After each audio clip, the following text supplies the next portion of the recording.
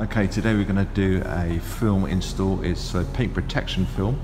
It's one of these ones that self-repairs. So the idea is if you have fenders down the side, you get fender scratching and marking down the side of the boat.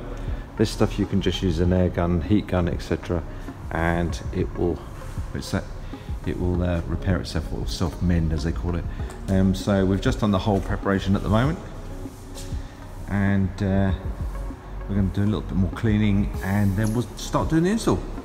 Right, so we've done the application now, and as you can see, we've still yet to trim it into the to the edges there, but it's gone on smoothly and uh, a fairly fairly good result. So we'll trim it in, and we'll let you have a look at the final result. But overall, quite pleased. So it's trimmed up flush with the edge of the colour of the gel coats, and uh, heat gun the edges. We've sealed all the edges, so it's given it a full protection now, and I think it looks quite quite nice. You can feel there's a coating on there, but overall, as we said, this is a, a PPF, so it means that if you get any fender damage and scrapes on here, you can put a heat gun on it. It does have memory, so return to its former glory. See what it's like on the water.